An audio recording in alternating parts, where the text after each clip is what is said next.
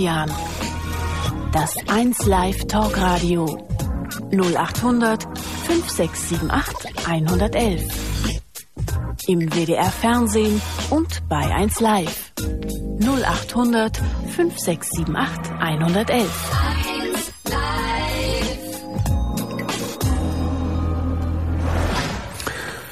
Hallo Leute, willkommen bei Domian, willkommen beim 1 Live Talk Radio. Unser Thema heute Nacht heißt, ich möchte mein Leben ändern. Wer von euch ist in einer Situation, in der oder über die ihr sagt, es muss etwas geschehen, ich muss mein Leben ändern. Ich weiß vielleicht nicht genau wie, aber irgendetwas muss passieren.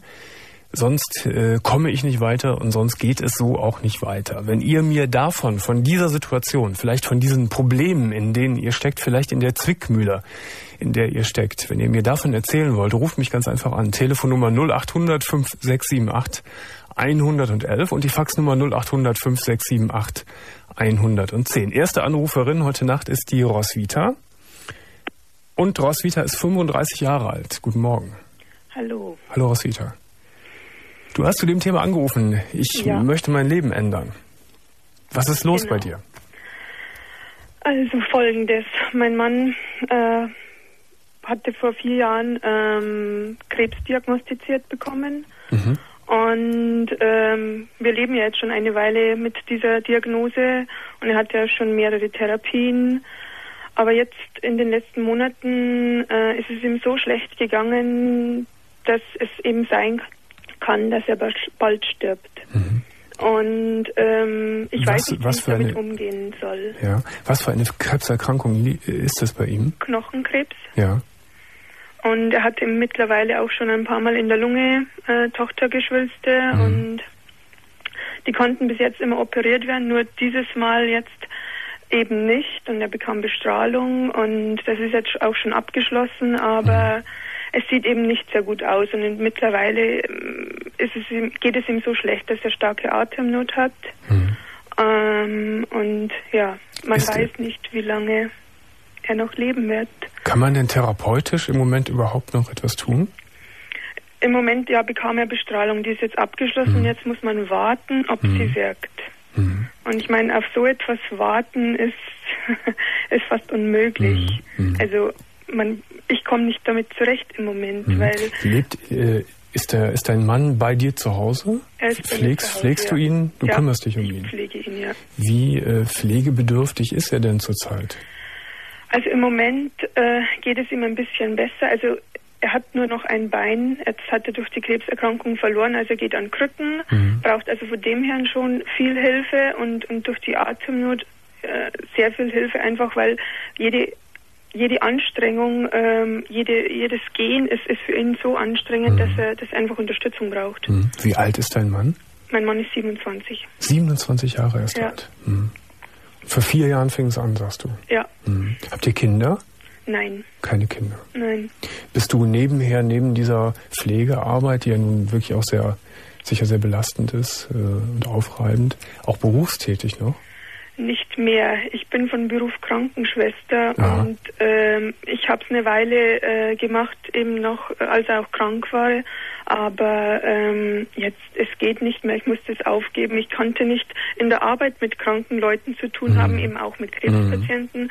Und jetzt zu mhm. Hause mhm. auch ständig mit diesem Thema konfrontiert zu mhm. sein. Es war zu viel für mich. Roswitha, du heißt ja unser, unser Thema heute Abend, ich möchte mein Leben ändern. Ähm, habe ich das ja so richtig verstanden, ja. dass, dass die Belastung so groß ist im Moment, obwohl er dich vielleicht im Moment dringender braucht denn je, dass du sagst, ich, ich glaube, ich kann nicht mehr.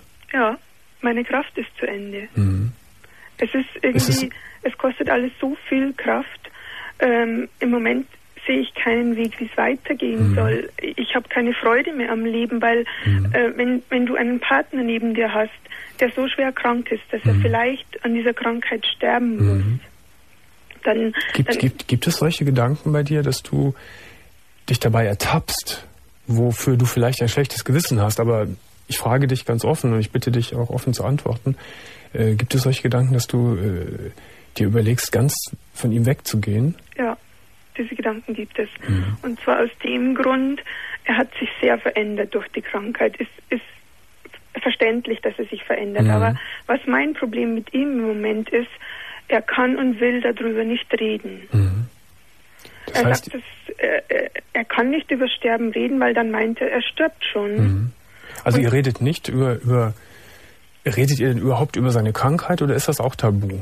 Es ist eigentlich tabu. Ich mhm. meine, manchmal müssen wir darüber reden. Mhm.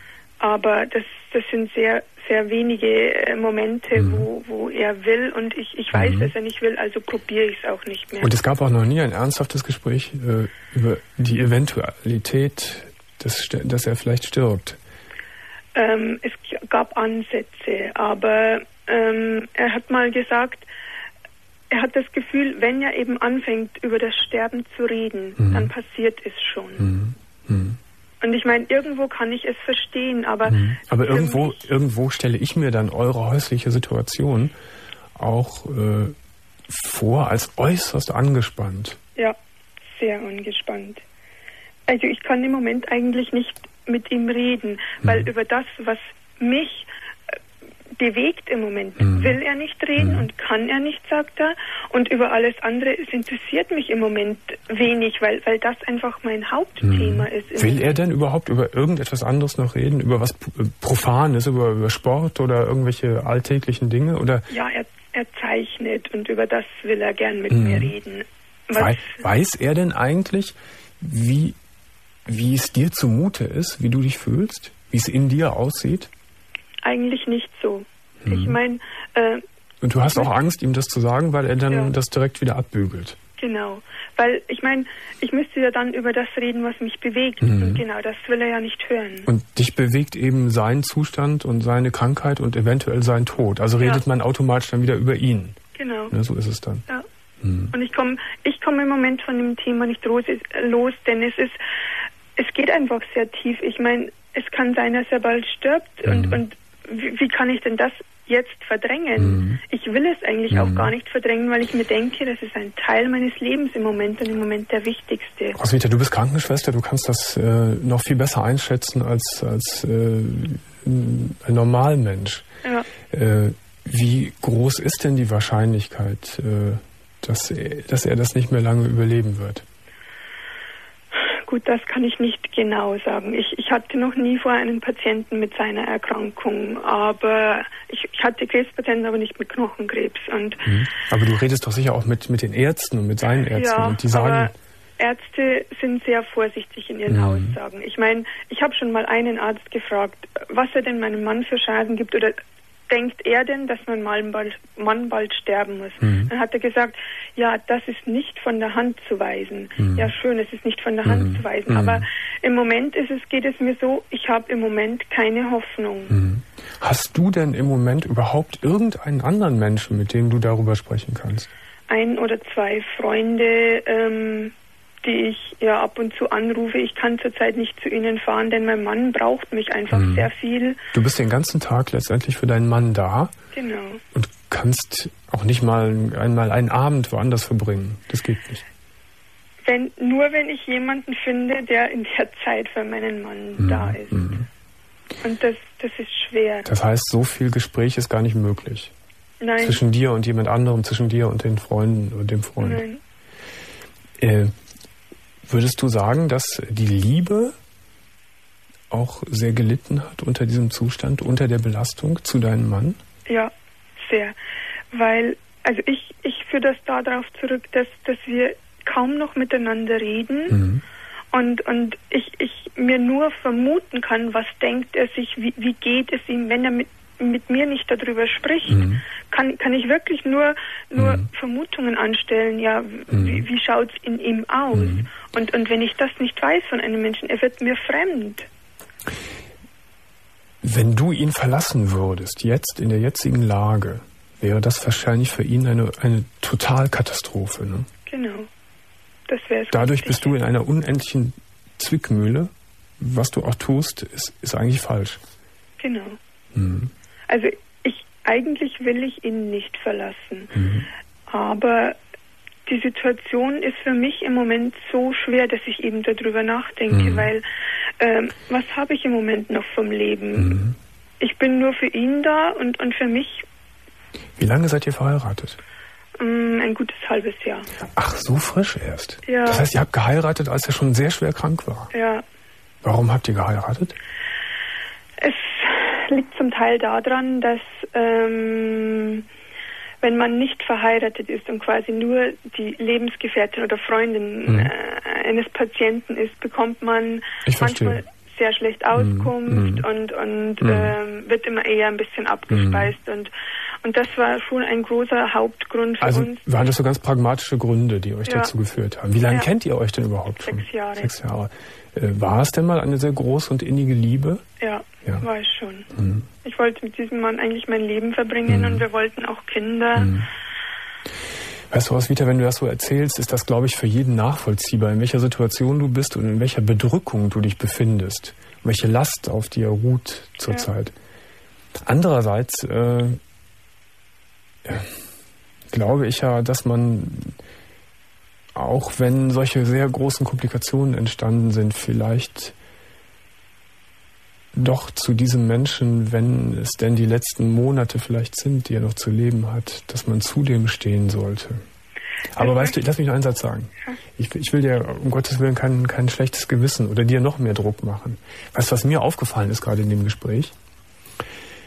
Dass du keinen Menschen hast, wo du ein Ventil mal öffnen kannst. Und vielleicht wäre das ja eine, ein, ein, eine Kompromisslösung, dass du ihn begleiten kannst in seinen allerschwersten Stunden, die vielleicht jetzt vor ihm liegen. Aber du brauchst auch beständig einen Menschen, der sich um dich kümmert. Und wenn es ein, ein, ein professioneller Mensch ist, der das, äh, der sich um dich kümmert, das kannst du nicht alleine so schaffen, Roswitha. Ich weiß. Nur ähm, jemanden zu finden, der einem dabei hilft Mhm. und der vielleicht ähm, immer, wenn ich ihn ganz dringend brauche, Mhm. auch für mich verfügbar ist, Mhm. ist fast unmöglich, Mhm. denke ich mir.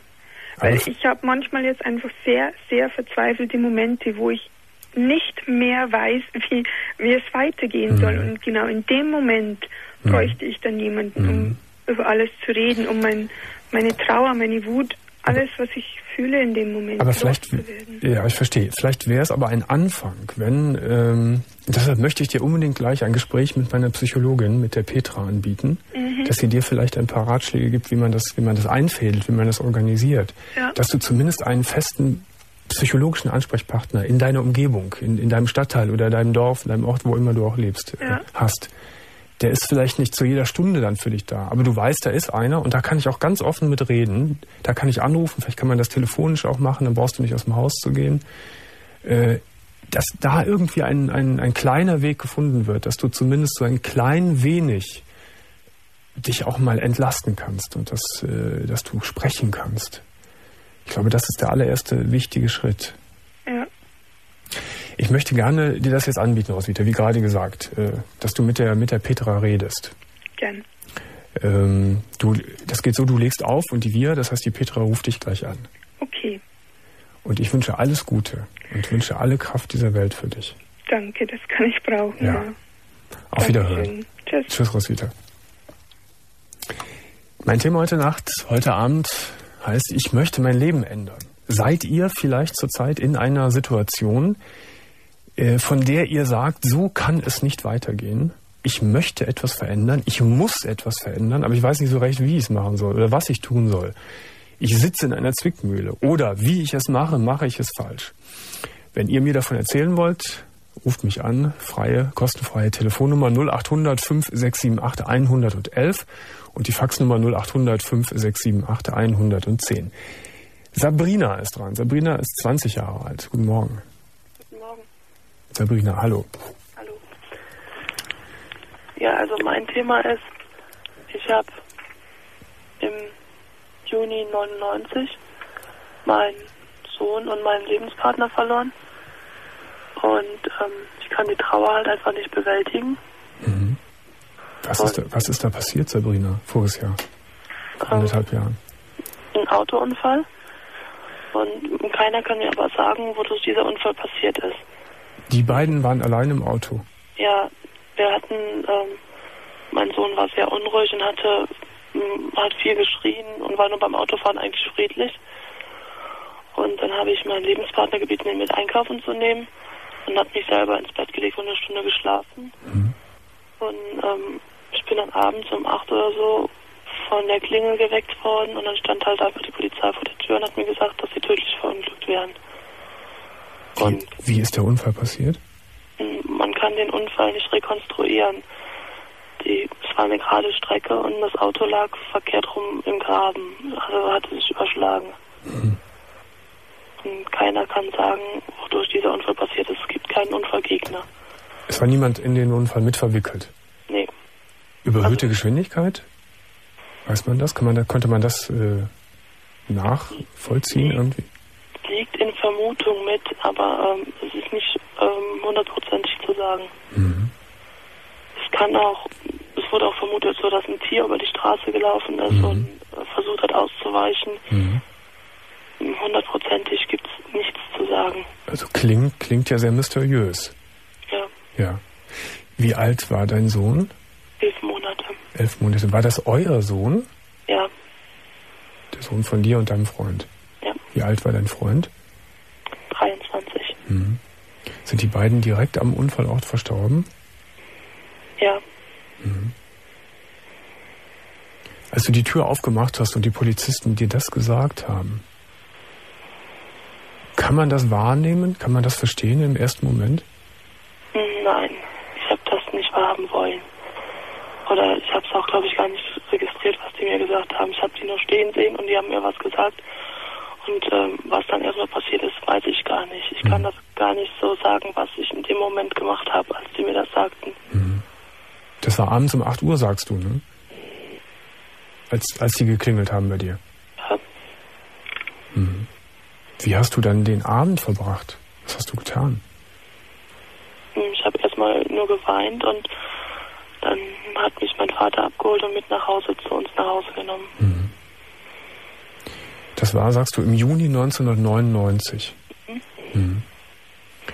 Ähm, jetzt haben wir Januar 2001. Das ist noch nicht lange her, wenn man so einen schweren Verlust äh, zu erleiden hat.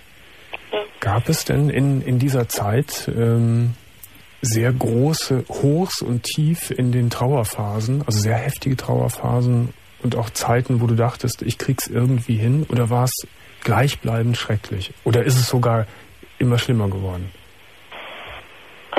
Noch in der Ausbildung war und jeden Tag arbeiten war und von morgens bis nachmittags spät arbeiten war, da ging das. Da war ich damit beschäftigt, musste ja noch meine Prüfungsarbeit vorbereiten und ähm, war also fast immer beschäftigt und bin dann abends einfach nur noch todmüde ins Bett gefallen. Mhm. Ähm, die Zeit ging. Jetzt, wo ich den festen Job habe und auch viel Zeit zum Nachdenken und mhm. so bleibt, wird das immer schlimmer und kommt mhm. Immer, immer mehr raus. Oder so, mhm. dass ich das merke auf der Arbeit und dann da sitze und sage, boah, du kannst jetzt überhaupt nicht mehr, am liebsten würdest jetzt einfach irgendwo hingehen und ganz alleine sein. Mhm. Seit wann hast du diesen festen Job? Hm, seit dem 1. September. Mhm. Also es hört sich so an, als hättest du die, die erste Zeit durch, durch deine Aktivitäten die Trauer und alles, was in deinem, in deinem Herzen vorgeht, so unter Verschluss gehalten. Ne? Dass das gar nicht hoch und rauskommen konnte. Nee, du bist auch der Erste, sag ich mal, wo ich jetzt da ganz offen drüber rede mit. Mhm. Wie kommt das? Hast, du hast doch, du, du hast deinen, deinen Vater, deine Eltern noch? Ist das so? Ja, aber die verdrängen das genauso. Mhm. Das ist kein Thema, wo man abends mal drüber reden kann oder ähm, in freier Minute mal drüber reden mhm. kann. Mhm. Lebst du heute auch noch in der Wohnung, in der ihr damals gewohnt habt? Nein, da bin ich kurze Zeit nachher ausgezogen. Ich wohne seitdem wieder bei meinen Eltern zu Hause. Mhm. Hast du dich von den Sachen getrennt, von deinem Kind und deinem Freund? Oder hast du die mitgenommen? Es gibt Sachen, die sind in Kisten auf dem Speicher. Und äh, es gibt da so das eine oder das erste Stofftier von meinem Sohn, was ich immer bei mir habe. Mhm. Das mhm. geht auch überall mit hin. Mhm. Das ist fester Bestandteil meiner Tasche. Ja. Du wohnst bei deinen Eltern, sagst du. Mhm. Und es ist nie das Gespräch bei euch zu Hause über, über das Unglück? Nein, nie. Es wurden ähm, alle Fotos abgehangen. Ähm, Es ist so, als wenn sie gar nicht existiert hätten. Kannst du dir das erklären, warum ihr da nicht drüber sprecht? Nee, das ist eine Sache, wo ich auch äh, verstehe ich nicht, das gehört zu mir dazu. Mhm. Und ähm, ich, ich verstehe meine Eltern da nicht so, warum. Wie, wie ist denn dein Verhältnis zu den Eltern? Hm. Mein, das zu meiner Mutter ziemlich chaotisch und ähm, sehr viel Berg- und Talbahn und mal geht es und mal sind wir todfeind. Mhm. Und, ähm, und ja, zu, mein, zum Vater? Da komme ich eigentlich super mit zurecht. Mhm. Der macht halt jetzt auch noch zwei Schulen und ähm, einen Job nebenbei und mhm. Schichtdienst. Da ist so wenig Zeit mal zu reden. Hast du denn bei deinem Vater, bleiben wir mal bei dem Beispiel Vater, weil du ein gutes Verhältnis zu ihm hast, hast du bei ihm denn schon mal so den Ansatz unternommen, über das Thema zu sprechen oder auch noch gar nicht? Nee, gar nicht, weil, mhm. weil er halt so viele Belastungen auf einmal im Moment hat. Mhm. Deshalb wollte ich, weil ich meinen Vater über alles liebe, mhm. da nicht ähm, auch noch mit ankommen. Weißt du, dass ich glaube, äh, Sabrina, dass das eine falsche Rücksichtnahme ist. Und wenn dein Papa das jetzt hören würde, würde er wahrscheinlich die Hände über dem Kopf zusammenschlagen. Vielleicht hat er von sich aus auch noch gar nichts gesagt, weil er Angst hat, äh, damit nicht richtig umgehen zu können. Und so haben beide Leute Angst und nehmen Rücksicht aufeinander, dass er vielleicht auch Angst hat, dir weh zu tun, wenn es anspricht. Und ihr macht genau das Falscheste, was man machen kann in dem Moment, in der Situation. Ich glaube, ich glaube, dass, es, dass, also dass, dass du etwas ganz un, unglaublich Schlimmes erleiden musst und dass du etwas ganz, einen ganz, ganz schlimmen Schicksalsschlag hast ertragen müssen. Darüber brauchen wir gar nicht reden. Aber ich glaube, wenn es überhaupt eine Chance gibt, weiterzuleben, in irgendeiner Form sich damit zu arrangieren, mit diesem Schicksal, dann nur, indem man zumindest mit einer Person, noch besser mit mehreren darüber spricht und seinem Herzen Luft macht. Das bringt dir, das wird dir letztendlich die, Schmerzen nicht, äh, nicht wegnehmen, aber es lindert den, den Druck in dir. Es, es wird dich etwas befreien und etwas erleichtern. Mhm. Ja, das kann, das kann gut sein. Ich, ich bin ganz sicher, Sabrina, das, äh, das höre ich immer wieder von, von Menschen, die die schwerste Trauer zu bewältigen haben und du hast das zu bewältigen, äh, dass sie, dass sie ein Gegenüber brauchen, mit dem sie das austauschen können, indem sie das, indem sie das einfach hinlegen können, dem, mit dem sie einfach darüber sprechen können. Ja. Wie stellst du dir denn, du bist ja noch, du bist ja noch super jung, du bist 20 Jahre erst alt, wie stellst du dir denn so dein weiteres Leben vor? Hm, ich kann mir das zurzeit nicht richtig vorstellen. Ich ähm, fahre zur Arbeit, mache meinen Job, mache meinen Schichtdienst, mache meinen Nachtdienst, fahre wieder nach Hause, äh, falle da in den Alltagstrott rein, mhm. gehe ins Bett. Mhm. Und das war's. Was Und machst du vom Beruf? Erzieherin bin ich. Ja. Mhm. Und ähm, in die Zukunft zu schauen oder so, kann ich gar nicht richtig. Mhm. Ich sehe dann halt einfach nur meinen Job und den weiterziehen und durchziehen und ähm, Berufserfahrung sammeln und so weiter, mhm. was ich halt alles brauche. War es denn irgendwann auch schon mal so schlimm, die Beklemmung, der Schmerz, die Last in dir und auf dir, dass du dich dabei ertappt hast bei dem Gedanken, ich will auch nicht mehr, ich kann nicht mehr? Mhm, ganz am Anfang, ja. Mhm. Das ist aber jetzt nicht mehr so. Nein. Mhm. Weil ich halt, mein Beruf macht mir super Spaß mhm. und ähm, ich merke da so, dass ich da angenommen bin von den, das sind jetzt Jugendliche, wo ich mit zusammenarbeite, mhm. dass ich da angenommen bin und dass die, ähm, die merken zwar, dass da was mit mir nicht stimmt, mhm. aber die fragen nicht, weil sie selber alle schwere Schicksale mhm. haben. Mhm. Und ähm, Sabrina, ich mache zwei, zwei Vorschläge. Der Vorschlag Nummer eins ist, auch wenn dein Papa sehr viel zu tun hat im Moment und sehr belastet ist, glaube ich, dass es gut ist, wenn du ihn darauf ansprichst, wenn du ihm von dir erzählst. So wie du es mir jetzt erzählt hast. In irgendeiner stillen Stunde, wenn ihr beide alleine seid. Ja. Und das Zweite ist, und deshalb möchte ich dich auch gleich nochmal mit meiner Psychologin verbinden, wäre es, glaube ich, in deinem Falle auch sehr gut, wenn du noch einen Ansprechpartner hättest, einen Psychologen, oder wenn du eine Selbsthilfegruppe finden könntest, wo Menschen sich treffen, zusammenkommen, die Ähnliches erlitten haben, erleiden müssen, wie du es zurzeit und seit anderthalb Jahren mitmachst. Und da können wir dir vielleicht behilflich sein und dir die eine oder andere Adresse geben. Ja. Denn ich glaube, ich wiederhole das nochmal, das Allerwichtigste ist jetzt für dich und dein Leben, dass du dich öffnest und dass du redest. Und dass du weinst und dass du einem Menschen oder mehreren Menschen einfach dich aufblätterst und sagst, so sieht's in mir aus und so viel Trauer und so viel Tränen sind in mir. Ja. Wir machen das so wie gerade auch. Du legst bitte auf. Ja. Und die Petra ruft dich, sobald sie frei ist, äh, ich weiß nicht, ob sofort ist, aber in den nächsten Minuten ruft sie dich an und dann könnt ihr auch weiter miteinander reden. Ja, schön. Danke dir. Ich wünsche dir alles Gute. Hm? Danke. Auf Wiederhören. Tschüss. Jetzt habe ich am Telefon den Ewald und Ewald ist 65 Jahre alt. Guten Morgen. Genau. Hallo Domian. Guten Morgen. Äh, ich freue mich sehr. Das ist mein erster Anruf bei dir. Ja. Ich habe gleich das Glück gehabt, durchzukommen. Na, das ist eine tolle Sache. Das passiert nicht jedem. Ich muss aber zum Thema Folgendes sagen. Ich möchte mein Leben nicht nur ändern, sondern der Plan ist bereits ein Jahr alt. Äh, und ich habe mich entsprechend vorbereitet. Ich möchte nach Mallorca auf Dauer ziehen. Mhm. Jetzt muss ich abwarten, wie viele Jahre mir noch bleiben. Ich bin ja schon 65. Naja, ist ja noch, ist ja noch nicht so alt. Aber bist du, bist du noch fit und gesund? Ja, natürlich. Das bist du, Äh. Ich war 50 Jahre lang nicht krank. 50 Jahre überhaupt nicht krank. Nee, kein Arzt, kein Krankenhaus und nichts. Gar nicht. Keine Grippe und gar nichts. Ja, da können viele von träumen. Gratulation. Aber das wirklich. ich auch. So, Ja, und jetzt willst du einen richtigen Einschnitt in dein Leben machen und äh, unser schönes. Deutschland hier verlassen und nach Mallorca gehen. Ja, ich möchte das total beenden und zwar aus folgendem Grunde. Mhm.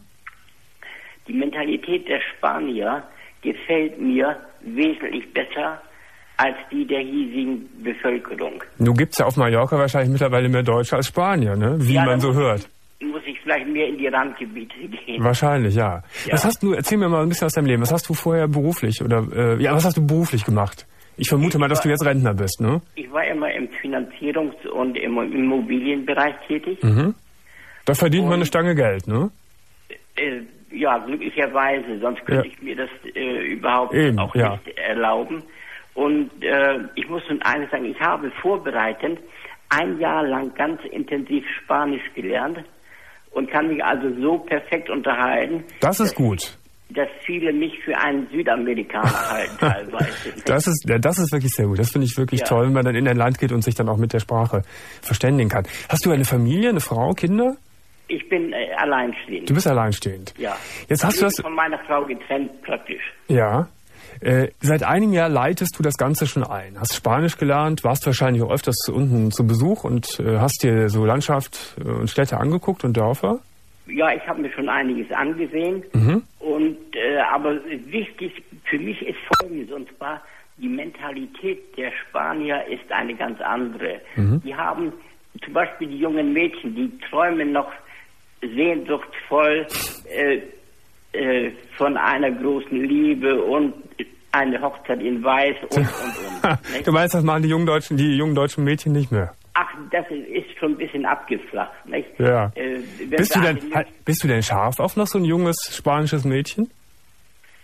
eine, äh, eine äh, Partnerin äh, in diesem Bereich äh, bringt vielleicht sehr viel Herzlichkeit in eine so kleine äh, Zwei-Personen-Familie, nicht? Das war jetzt eine sehr, sehr verschachtelte Antwort auf meine Frage. Ich wiederhole die Frage nochmal. Würdest du denn gern nochmal dich verlieben? Vielleicht in eine junge Ja, Spanierin? ja, natürlich, ja. ja. Jetzt lass uns mal, lass uns mal über die Fakten reden. Äh, hast du hier in, in, in Deutschland äh, ein Haus beispielsweise? Oder, ähm, Nein, nee, nee. Das nicht. Mhm. Nur entsprechend Barvermögen, sodass ich das Ganze äh, tragen kann. Wann soll es denn losgehen? Äh, etwa im Mai, Juni. Ja. Und, Und- planst du da unten eine Wohnung zu mieten oder etwas zu kaufen? Nee, ich würde mieten, weil äh, das immer noch preiswerter ist, als etwas zu kaufen. Mhm. Aber das ganze Leben ist natürlich da, vermute ich mal, ich habe keine Ahnung, ich denke mir das so, teurer als hier, ne?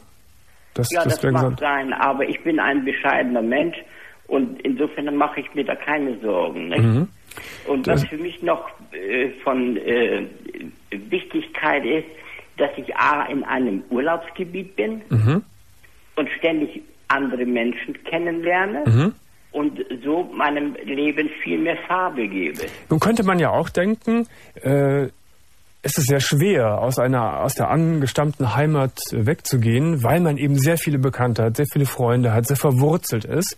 Man muss woanders wieder ganz neu anfangen. Man kennt erstmal keinen Menschen. Wie siehst du das für dich?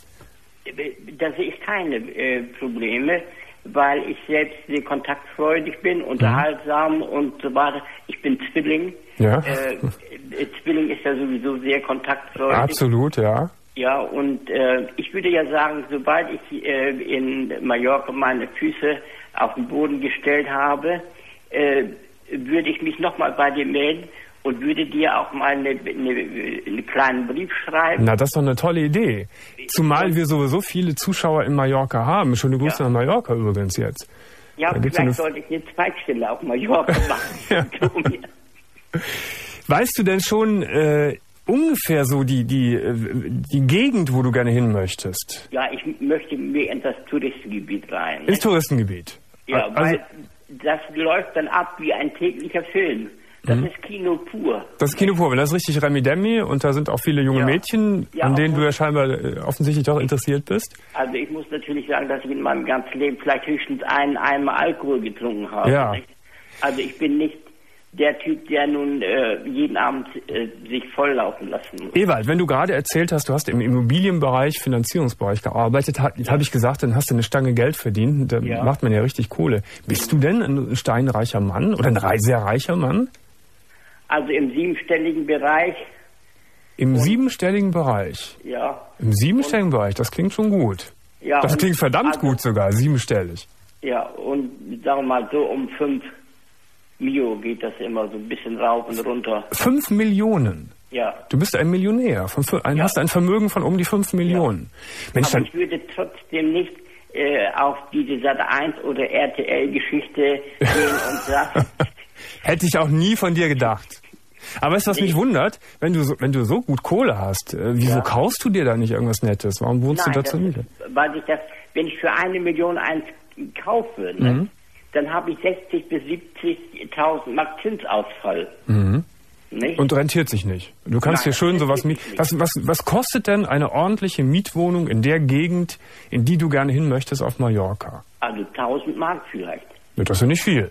Nee, Das ist- kostet ja, das Ja. kostet ja hier in Deutschland auch. Das wird dann 12.000 Mark im Jahr Ja. gegenüber 60, 70.000 Mark Zinsverlust. Ja, ja, ja klar. Das Also auf jeden Fall komme ich darauf zurück, dass ich dir dann einen ausführlichen Bericht schreibe Das ist sehr schön. Und dann werden wir dich nochmal anrufen, da unten.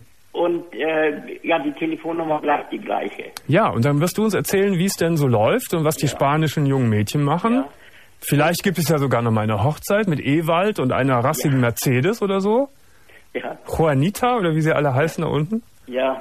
äh, und ich hätte vielleicht einen Vorschlag und zwar Bitte. ein Thema nochmal zu Ja. bringen, äh, als Gegensatz zu dieser Sendung äh, äh, Millionär heiratet eine aus 50. Mhm. Ich finde, das ist abgelaufen wie so eine Schlachtvieh-Auktion, nicht? Ja, ja. Ich weiß nicht, ob du die Sendung Nee, da war ich im Urlaub. Ich habe es nicht gesehen, aber habe viel Übles darüber gehört. Ja, ja. Ja. Also, Und äh, es hat sich herausgestellt in der RTL-Sache, dass dieser Millionär die Bewusste schon kannte, nicht? Genau, das haben wir alle Also gelesen. ein öffentlicher Betrug, Ja, nicht? ja, Jetzt hast du noch einen Gegenvorschlag für eine Sendung oder wie habe ich das gerade verstanden? Ja, so. Ja, ich würde mal zu dem Thema mal sagen, hier, wie junge Damen dazu stehen. Ach so, ich verstehe. Ja, können wir gerne auch mal machen. Vielleicht morgen. Morgen haben wir eine offene Sendung. Wie steht ihr jungen deutschen Mädchen dazu, einen Millionär zu heiraten? Ja. Sagt ihr dann nein? Oder sagt ihr, warum nicht? Oder sagt ihr, geil, wollen wir? Ja, vom Ne? Also morgen möchte ich mit vielen jungen deutschen Mädchen sprechen zum Thema, äh, möchte ich ein Millionär? Ne, Ewald, so machen wir das. Also, du schreibst mir bitte Ja, und dann werden wir äh, in einem halben Jahr nochmal miteinander telefonieren. auf jeden Fall. Und du erzählst uns vom sonnigen Mallorca. Und darauf kannst du dich verlassen. Das ist schön. Ich wünsche alles Gute und einen guten Umzug. Seit, seit drei, vier Jahren sehe ich dich sehr oft. So, und du bleibst uns dann bitte in Mallorca auch treu. Natürlich. Natürlich. Ja. Ewald, Alles Gute, alles Gute. für dich und für die Sendung. Vielen Dank. Auf Wiederhören. Ich danke auch. Tschüss. Wiederhören. 1.36 Uhr, 10 Sekunden und jetzt machen wir eine kleine Pause.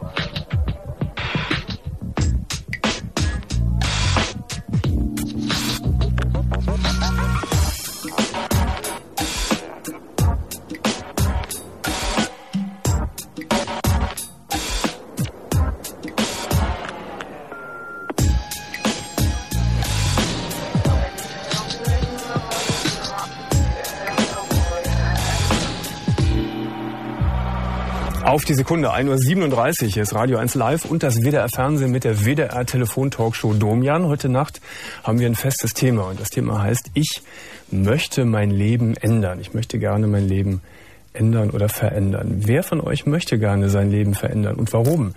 Wenn ihr mir davon erzählen wollt, wenn ihr mit mir darüber sprechen wollt, ruft mich ganz einfach an. Freie Telefonnummer, kostenfreie Telefonnummer 0800 5678 111 oder die Faxnummer 0800 5678 110. Nächste Anruferin, das ist die Katja. Und Katja ist 25 Jahre alt. Hi. Ja, hallo Domian. Hallo Katja. Warum möchtest du dein Leben verändern? Ja, ich habe da jetzt so bis jetzt noch mit keinem drüber geredet. Mhm. Und zwar ähm, bin ich seit drei Jahren verheiratet. Mhm. Ähm, ich bin 25, das weißt du ja. Ja. Mein Mann ist 46. Mhm. Wir sind seit drei Jahren verheiratet und ähm, er trinkt und schlägt mich. Mhm. Seit zweieinhalb Jahren. Mhm. Und ähm, Er schlägt dich regelmäßig. ja, Das heißt, wie oft ist das in den letzten zweieinhalb Jahren vorgekommen? fast jeden zweiten Tag. Jeden zweiten Tag? Ja. Wenn er besoffen ist oder auch wenn er nicht besoffen ist. Doch, wenn, wenn er besoffen ist, ja. Wie schlägt er dich dann? Wie geht das ab? Ja, entweder, ähm, ich war so, ich habe einen Halbtagsjob, Mhm. ich weiß ganz genau, wann ich nach Hause komme. Mhm. Und zum Beispiel, wenn ich mal ein paar Minuten später bin, Mhm. dann haut er halt ins Gesicht. Und ähm, er schubst mich dann halt so rum. Mhm. Also du kriegst, kann man sagen, regelmäßig einen ins Gesicht. Man schlägt, Ja. Er schlägt dich regelmäßig ins Gesicht. Wie reagierst du dann? Wehrst du dich? Gehst du zurück? Läufst du weg? Ich äh, laufe dann meistens weg. Mhm. War es so schlimm, dass du schon mal zu einem Arzt musstest oder hattest du Nasenbluten oder irgend so etwas? Ja, Nasenbluten, aber zum Arzt äh, musste ich bis jetzt noch nicht. Mhm. So, das geht seit zweieinhalb Jahren so. Ja. Und man kann sagen, und wir übertreiben nicht, das ist mehrfach in der Woche so. Ja. Eig eigentlich ist dieses Gespräch jetzt hiermit schon beendet, Katja. Mhm. Nee, ich will ich will es nicht beenden, aber im Prinzip ist alles schon klar. Wir brauchen gar nicht mehr weiterzureden. Weg von dem Kerl. Ja. Aber Weg ich von dem nicht. Kerl. Ich kann es nicht, weil ich ihn auch noch irgendwo liebe. Weil es gibt auch noch mal zwischendurch schöne Situationen. Zum Beispiel, Katja, wenn er mal nicht so viel getrunken hat, dass wir dann mal wegfahren oder mal essen gehen. Aber kannst du denn in diesen sogenannten schönen Situationen vergessen, dass dieser Mann dich drei, vier Mal in der Woche prügelt? Können denn Teilweise ja. Also Aber am Anfang ging das wohl. Aber weil dann hat er halt immer erzählt, er ändert sich und dann ging das vielleicht auch mal am Anfang ein paar ein paar Tage gut und dann halt wieder. Mhm. Also das erste halbe Jahr war, sag ich mal, schön. Na gut, das ist jetzt Vergangenheit, ne? Das erste halbe Ja. Jahr. Hat er denn eigentlich irgendwann mal äh, äh, dazu geäußert, dass er sagt, es tut mir leid und ich versuche mich zu bessern? Ja, er war auch schon zweimal auf Entzug, Mhm. aber ohne Erfolg. Mhm. Er ist immer wieder angefangen. Mhm. Ähm, er war ähm, schon verheiratet, hat auch aus erster Ehe zwei Kinder. Mhm. Ähm, die Frau ähm, hat das Sorgerecht, das heißt, er darf die Kinder nicht mehr sehen. Mhm. Und ähm, er hängt sehr an den Kindern. Mhm. Und ähm, deswegen ist er damals angefangen zu trinken, weil er damit nicht fertig wird. Mhm. Weißt du, Katja, was ich glaube? Ich glaube, dass das, äh, dass bei dem das so, so funktioniert im Kopf. Mit der Katja kann ich das machen. Die Katja nimmt das so hin. Die schimpft und die ist beleidigt, aber letztendlich habe ich die im Sack. Ja, Mit der kann ich das machen. Vor der habe ich letztendlich aber auch gar keinen Respekt. Das ist meine Frau, die macht mir meinen Haushalt und die macht alles ordentlich und an der kann ich meine Launen auslassen. Und da kann ich auch noch zehnmal draufschlagen, scheißegal, die schluckt es. Ich glaube, dass letztendlich das in dem so vorgeht. ja, Und du bist schön blöd, entschuldige, wenn ich das so krass sage, schön blöd, wenn du das mitmachst. Und wenn du mir irgendwas erzählst von, es gibt auch noch schöne Momente. Nein. Wenn man von einem Menschen, von dem eigenen Ehemann so permanent geschlagen wird, sind eigentlich diese all die sogenannten schönen Momente dadurch automatisch zerstört. Da machst ja. du dir, da machst du dir auch was vor, Katja. Ja, nur ich habe halt auch so niemanden, mit dem ich darüber reden kann, ja. weil ich halt nicht weg kann. Also er hält mich hier quasi wie im Gefängnis. Mhm. Ich komme hier nicht weg. Mhm. Er achtet, wie gesagt, auch immer auf die Uhr, weil ich habe einen Halbtagslock. Er weiß ganz genau, wann ich zu Hause zu sein habe. Mhm. Sagen wir mal ganz schlicht und einfach, du bist eine Sklavin. Du bist seine Sklavin, die er dann auch noch schlägt. Ja. So, und du erzählst mir was davon, dass du diesen Mann liebst? Ist das Liebe? Ja, ja ich liebe ihn. Du liebst jemanden, der dich so schlecht behandelt? Ja, im Endeffekt ja.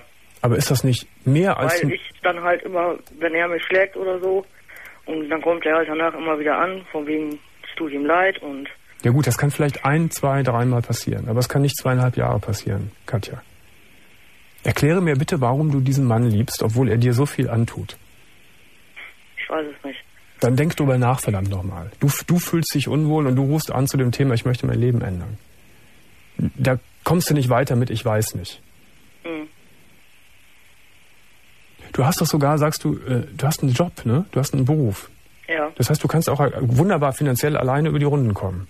Das ist ja nur ein Halbtagsjob. Na gut, aber das heißt wunderbar, aber du kannst, du könntest alleine über die Runden kommen. Ich könnte ja. Mhm. Aber ich weiß ganz genau, er lässt mich nicht in Ruhe. Gut, das ist dann das nächste Problem, die nächste Stufe, was alles dann passiert, wenn du sagst, ich möchte mich von, von dir trennen. Äh, aber im Moment äh, unternimmst du auch gar nichts. Du lässt das ja alles über dich ergehen.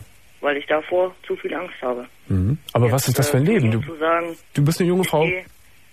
Ja, ich verstehe. Aber was ist das für, für, eine Perspektive und für ein Leben? Du bist eine junge Frau von 25 Jahren.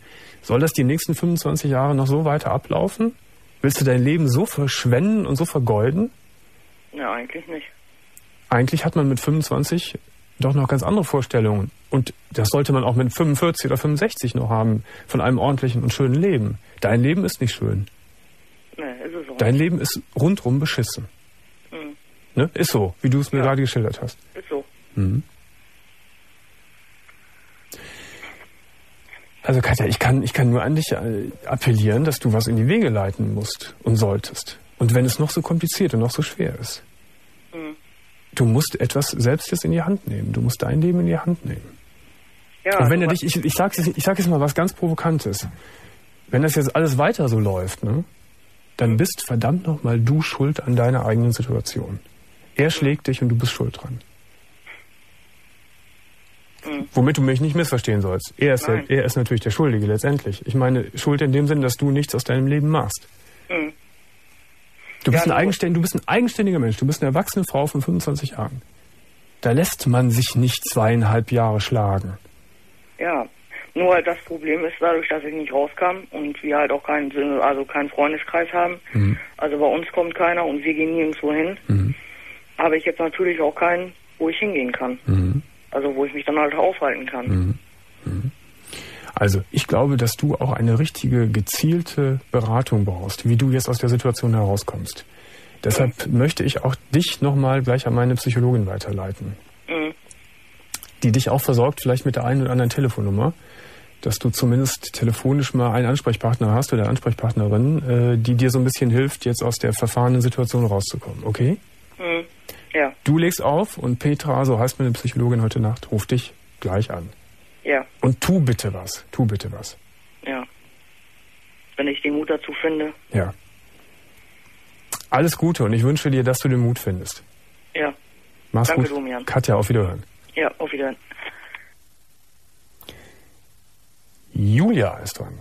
Ja. 17 Jahre alt. Ja. Hallo Julia. Hallo. Na? Du hast dich bei mir auch gemeldet zu dem Thema. Ja ich will mein Leben ändern. Was ist denn bei dir los und warum willst du es ändern? Also ich will mein Leben, also ich beziehungsweise wir, also meine Freundin und ich, wir wollen unser Leben grundsätzlich alles an unserem Leben ändern. Ist deine Freundin zufällig Isabel? Ja. Die 16 Jahre alt ist? Ja. Steht nämlich hier auf meinem schlauen Computer. Mhm. Die ist auch bei dir, ne? In der Wohnung. Ja. Jetzt neben dir. Mhm. Was wollt ihr denn ändern, ihr beiden? I, wie schon gesagt, einfach alles, weil ich kann mir gar nicht vorstellen, wie so ein Leben überhaupt zu leben ist, weil an unserem Leben ist eigentlich alles langweilig, weil ich weiß nicht, wir sind zwei jugendliche Mädchen mhm. und wir können hier absolut nichts machen, was uns Spaß macht. Wo lebt ihr denn? In so einem voll kleinen Dorf, das heißt Quickborn. Kenne ich nicht. Das hört sich so nach Norddeutschland an. Nee. Nee? Oder doch? Ich weiß es gar nicht. in Frankfurt. Nee, das ist nicht Norddeutschland, also in der Nähe von Frankfurt. Ah. Wie weit ist denn Frankfurt entfernt?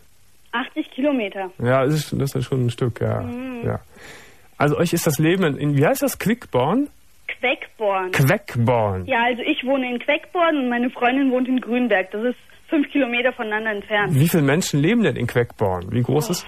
Also ich, das sind nicht mal 500. Also wirklich, das ist ein Dorf dann. Ja, ne? und mhm. das Schlimme ist, da sind auch nur so alte Bauern. So. Voll die alten Menschen, fast keine Jugendliche. Ja, nichts gegen alte Bauern, aber wenn man nur, wenn man ganz jung ist, dann will man auch was anderes haben. Euch ist es zu langweilig in der Umgebung. Ja, aber total. Mhm. Was macht ihr denn? Seid ihr noch Schülerin? Ja. Ja. Wir gehen beide in die 11. Klasse. Ja. Und wie sieht so euer, euer trister Alltag so aus?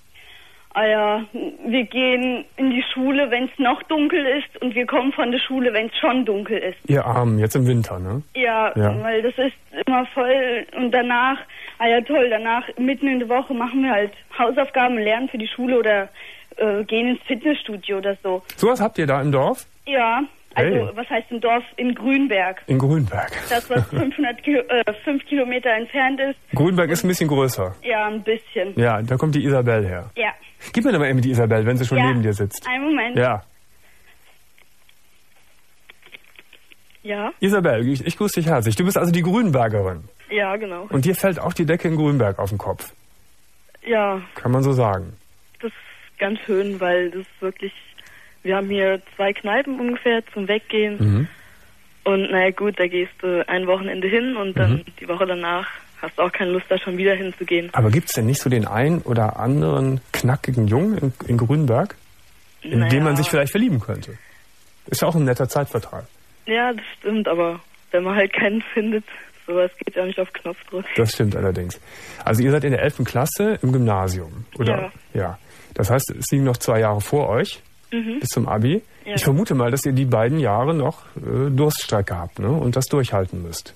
Ja, das denke ich auch, weil so Schule wechseln mhm. ist dann auch nicht so gut. Ich möchte mein Leben ändern, heißt die Sendung. Wie stellst du dir denn das vor? Was möchtest du denn gerne wie, haben oder wie würdest du gerne leben? Naja, also ich würde gerne in einer größeren Stadt leben, mhm. wo ich abends auch mal irgendwo hingehen kann und mhm. nicht gleich jeden kenne, mhm. der mir begegnet und mhm. das halt einfach alles ein bisschen lustiger ist und so. Mhm. Ich glaube, du sprichst ganz vielen Jugendlichen jetzt aus der Seele, die so in der Provinz leben. Ja, das kann ich mir vorstellen. Und ich komme ja selbst aus der Provinz und habe mir das früher auch immer gewünscht. Ach so. Und habe gedacht, Mann, dann kommst du endlich heraus. Ne? Hm. Mein Grünberg hieß Gummersbach. Ist ein bisschen Ach. größer als Grünberg, glaube ich, aber, aber dennoch hatte ich auch solche Gefühle früher. So, also, man kann nichts machen. Ihr müsst zwei Jahre jetzt noch in den sauren Apfel beißen. Ja, das stimmt. Dann habt ihr Abi und dann könnt ihr ja sowieso hingehen, wo ihr wollt. Hoffe ich zumindest. Ja, das denke ich mal auch. Was sind, denn, was sind denn deine Berufswünsche oder deine Studienwünsche vielleicht? Auf, also ich weiß nicht, habe ich noch nicht so einen Plan. Krankenschwester vielleicht oder so. Ja, aber dann müsst ihr natürlich irgendwas organisieren, dass ihr dann in einer anderen Stadt äh, vielleicht die Ausbildung macht oder ein Studium beginnt. Und dann seid ihr raus aus Grünberg und aus dem anderen Dorf. Ja, das stimmt. Also ihr müsst jetzt schon mal anfangen, Pläne zu machen, finde ich. In der Elf kann man das machen. Ja, das machen wir auch eigentlich ja. die ganze Zeit schon, aber es ist dann trotzdem immer deprimierend. also die zwei Jahre gehen herum, ist, ist leicht gesagt, weiß ich von außen. Äh, aber wenn man so eine Perspektive vor Augen hat, äh, zu sagen, in zwei Jahren gehe ich nach Frankfurt, nach Berlin, nach München, nach Hamburg, nach Köln, hm. dann fällt es ein bisschen leichter. Dir wünsche ich alles Gute und du gibst, du gibst mir nochmal die Julia bitte, mhm. Isabel, ja? Dankeschön. Ja, ciao. Hallo? So, Julia, jetzt bin ich aber gespannt, was du machen willst nach dem Abitur. Ja, also ich habe daran gedacht, Jura zu studieren. Mhm. Wo? Ähm, am, am auch in, also ja, wo, das ist die Frage, wo wir zu der Zeit hoffentlich wohnen werden.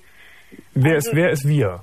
Ah, ich und meine Freundin. Wir wollen so. ja nach dem Abitur zusammen in eine Wohnung ziehen, in irgendeine so. Großstadt. Ja, was wäre denn deine Traumgroßstadt? Naja, ich weiß nicht. So viele habe ich ja auch noch nicht gesehen. Also Leipzig hat mir bis jetzt am besten gefallen. Mhm. Ja, das aber ist doch ich glaube, das war nur, weil wir dort am, also am meisten waren. Ja. Na, immerhin, aber Leipzig ist doch ein, ein End weg von, eurer, von eurem jetzigen Ort, Wohnort, mhm. und dann kann man da schon ein gutes neues Leben aufbauen.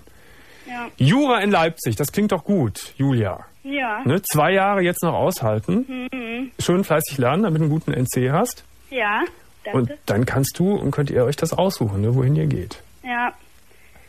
Und damit das Leben radikal verändert. Ja, auf jeden Fall. Also, ich sag schöne Grüße nach Hessen, ja, in die Nähe danke. von Frankfurt. Und mhm. toi, toi, toi. Und ja. das wird schon werden. Was meint ihr, wie ihr die Puppen tanzen lassen werdet in Leipzig, wenn ihr in zwei Jahren da seid? Ja, Zum das Beispiel. wird bestimmt cool. das glaube ich auch. Alles gut, ihr beiden. Ciao. Okay, ciao. Tschüss. Jetzt äh, habe ich. Oh, yo, yo, yo, yo. Jetzt habe ich hier einen Zungenbrecher hier. Ich glaube, ich glaube, es ist ein Mann. Jorginho. Jean, wie? Jorginho. Jorginho. Genau. Ist das Spanisch? Nein, Brasilianisch. Brasilianisch? Ja. Das ist ja schon. Bist du Brasilianer? Ja. Und lebst in Deutschland? Halb. Halb. Und woher kommst du aus, aus Brasilien? São Paulo. São Paulo. Ja. Ja, ich frage so nach, weil ich einmal mal ganz lange in Brasilien war und mich gerne und äh, also sehr interessiere für das Land. Aber das Wo hat jetzt. Ich bin im, ab äh, Rio in den Norden gefahren. Ah ja. Bis okay. äh, Fortaleza hoch. Mhm, mh, Fortaleza. Und dann ja. kreuz und quer das Land. Ja, ja. Du willst dein Leben auch ändern? Ja, eigentlich schon. Ich will wieder nach Hause in meiner Heimat. Ja. Nur meine Freundin macht damit wahrscheinlich nicht mit. Warum lebst du in Deutschland? Studierst du hier oder was machst du? Ich bin halb hier und halb in Brasilien halt. Mhm. Und momentan habe ich eine eigene Firma hier in Deutschland. Mhm. Was ist das für eine Firma? Äh, Im Werbebereich. Im Werbebereich. Mhm. Aber ich habe eigentlich Pilot gelernt, oder ich bin eigentlich Pilot. Mhm. Und habe halt in Brasilien ein ganz interessantes Angebot gekriegt. Mhm. Und du hast eine deutsche Freundin? Ja, genau, leider. nee, leider nicht. Leider, leider, wegen des Problems, weil die deutsche Freundin ja. lieber in Deutschland bleiben möchte und nicht ja, mehr nach genau. Sao Paulo möchte. Ja. Das ist natürlich wirklich ein dickes Problem. Wie lange seid ihr zusammen schon? Vier Jahre. Vier Jahre. Wohnt, auch, wohnt auch zusammen? Nein, nein. nein. Mhm. Aber sie hat gesagt, sie kann in Sao Paulo nicht leben. War sie ich denn? Sie ich kann sie verstehen. War sie denn zu Besuch? Einige ja, Male schon? Ja, wir waren schon oft zusammen und, ja. und ich kann sie verstehen. Ist das denn jetzt bei, ist das denn jetzt so ernst, dass du ganz klar eigentlich dich entschieden hast, ich gehe zurück nach Brasilien? Ja, eigentlich schon, weil das Angebot ist sehr interessant und das ist meine Heimat, das ist mein Land. Mhm. Irgendwie schon, ist klar. Und ab wann gilt dieses Angebot? Wann müsstest du das antreten? Mitte des Jahres. Mitte des Jahres. Ja. Und sie sagt ganz, ganz klar, nein, ich komme nicht mit. Ja, weil sie hat gesagt, in Sao Paulo kann ich nicht leben. Warum kann sie da nicht leben? Die Stadt ist sehr chaotisch, wie du weißt. Mhm. Ein bestialischer Verkehr. Mhm. Sao Paulo hat 25 Millionen Einwohner. Mhm. Fast, ne? also, mhm. es, ist eine, es, ist keine Stadt, es ist ein Moloch. Mhm. Ne? Es, man, viele sagen, es ist vielleicht doch die größte Stadt der Welt. Mhm. Also du kannst Sao Paulo oder Mexico City. Du kannst sie verstehen letztendlich, wenn sie sagt, ja, nein, ich möchte es nicht. Mhm. Jetzt stehst du vor dem Problem Heimat und Karriere auf der einen Seite und, ja. Lieb und Liebe auf der anderen Seite. Das ist aber ein Problem. Ja, eigentlich schon. Wie, wie, wohin tendierst du denn im Moment? Nach Hause. Mhm. Weil in Brasilien ist ein ganz anderes Leben wie in Deutschland. Mhm. Es ist, ich weiß nicht, das Wetter ist auch ganz anders. Es mhm. ist halt mein Heimatland und mhm. ist schwer. Mhm. Weiß sie das, dass du eigentlich äh, dich eigentlich schon entschieden hast? Ist, ist ihr das so klar? Ja, fast. Aber sie will es auch nicht wahrhaben. Mhm.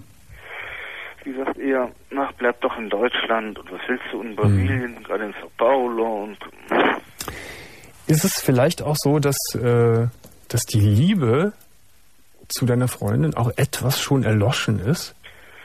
Nein, eigentlich nicht. Aber du weißt, man muss heutzutage abwägen, weil Angebote kommen ja nicht jeden Tag. Ja, ja natürlich, aber letztendlich ähm, würde für mich eigentlich immer die Liebe, nicht eigentlich, für mich würde die Liebe schwergewichtiger sein. Ich ja. würde mich immer dafür entscheiden. Gut, aber ich habe äh, die Auswahl zwischen meiner Heimat, wo ich mich wohlfühle. Mhm. Es ist mein, es ist mein Zuhause. Deutschland war nie mein Zuhause. Mhm. Und das weiß sie auch. Mhm. Sie hat es von Anfang an gewusst, dass ich eines Tages mal wieder nach Hause gehen möchte. Mhm. Und ich meine, damit muss sie sich zwangsweise abfinden. Oder sie kommt mit oder sie bleibt hier. Mhm. Gut, jetzt steht natürlich dein Wille gegen ihren Wille. So könnte sie ja auch argumentieren, das ist nicht meine Heimat. Ich fühle mich nicht in Brasilien wohl, ich möchte in meinem Land, in Deutschland sein. Ich verstehe sie ja voll und ganz. So, dann sind da zwei Pole nebeneinander, zwei Egoisten nebeneinander. Hm? Und welcher Egoist setzt sich durch? Das klingt sehr knallhart, das klingt nicht romantisch, das klingt nicht nach romantischer Liebe, was du sagst. So. Bitte? Es ist aber leider so, weil mhm. ähm, stehe zwischen dem Angebot und man gut. Ja, ich will dir da nicht reinreden. Also ich habe jetzt, wenn, wenn das so entschieden ist für dich, dann, dann ist es halt so. Und äh, ist für es mich ein bisschen schwer nachvollziehbar, aber naja. Ja gut, nachvollziehbar. Es ist für einerseits, sage ich, für mich ist es auch schade, dass ich die Beziehung dann aufgeben muss, klar. Ist Heimat nicht immer da, wo man liebt? Hm. Das Problem ist, weißt du, ich komme mit der deutschen Mentalität nicht klar. Mhm. Auch. Und das weiß sie, das weiß sie ganz mhm. genau. Wenn ich in, wenn ich da bin, bin ich ganz anders. Und mhm. äh, ich meine, wie gesagt, Brasilien ist ein wunderschönes Land mhm. und wir könnten in einer anderen Stadt auch, in einer anderen Stadt würde sie vielleicht sogar leben wollen mhm. mit mir, ne? Aber halt die Arbeit ist in Sao Paulo und Mhm. Ich weiß nicht, dann die Hin- und Herfahrerei, dann sehe ich sie ja auch kaum. Ne? Mhm. Na gut, mein lieber vielleicht Brasilianer, dann reise, dann geh nach Brasilien. Vielleicht klappt es ja noch, wie zu überreden. Ja, vielleicht lockst du sie wirklich mit einer anderen Stadt, dass ihr irgendwie da unten einen Kompromiss findet. Wie, wie auch immer das vielleicht zu arrangieren sei. Ich meine, das ist ja schon mal ein Angebot von ihr, wenn sie sagt, ich komme mit, ich will aber nicht in diese Stadt gehen. Ne? Das wäre da vielleicht ein Ansatzpunkt. Wie auch immer. Ich wünsche euch alles Gute und viel Glück und wie auch immer sich das jetzt alles entwickelt. Übrigens kann ich dich auch in Brasilien sehen. In Brasilien? Ja, ja über Internet. Über Satellit. Über Satellit geht es in Brasilien? Ja. Das ist ja spektakulär, das wusste ich aber auch noch nicht. Ja, grüßen wir mal alle, alle Zuschauer in Brasilien. Ich meine, mein, wenn du eine Schüssel hast, wo du äh, viele Kanäle der Welt empfangen kannst, dann geht das auch. Ja, ich dachte, es geht immer nur, es ging nur auf den Großraum Europa. Nee, nee, nee. Das geht bis nach Brasilien. In Deutschland kannst du ja auch mit einer Satellitenschüssel asiatische Programme empfangen. Also, also, dann ist natürlich klar, welches Fernsehen du ab Mitte dieses Jahres immer guckst in Sao Paulo, ne? nämlich westdeutsches Fernsehen, ne? WDR-Fernsehen. Und außerdem ist es zeitlich günstiger. Das ist natürlich dann nicht um 1 Uhr nachts. Nämlich, wie spät ist es jetzt in Sao Paulo? 9 Uhr oder 10 Uhr abends. Ja, ist doch wunderbar. Ist ja, ja unsere, unsere Traumsendezeit ist das ja. Eben. Jetzt ist diese Sendung zu Ende. Ich wünsche alles Gute. Ja, dir auch. Eine gute Nacht. Wie, wie sagt man nochmal auf Brasilianisch äh, auf Wiedersehen? Ciao, ciao? Ja, kann man sagen. Und wie, ja. sag, wie sagst du's? Ja, ich sag das, ich sag das so. Auch ciao, ciao. Und. Boa noite. Tschüss. Ciao. So, meine Lieben, das war unsere Sendung Ich möchte mein Leben ändern. In der Technik war Anne Buchholz. Wir sind morgen wieder da. 1 Uhr Radio 1 Live und WDR Fernsehen mit einer offenen Telefontalkshow. Und offene Telefontalkshow heißt, dass ihr mich anrufen könnt mit und zu welchem Thema auch immer. Ihr könnt ab 0 Uhr anrufen, unsere Leitungen sind geschaltet und wir sind dann um 1 hier im WDR Fernsehen und bei Radio 1 Live. Ich wünsche eine gute Nacht und freue mich auf morgen. Bis dahin, ciao.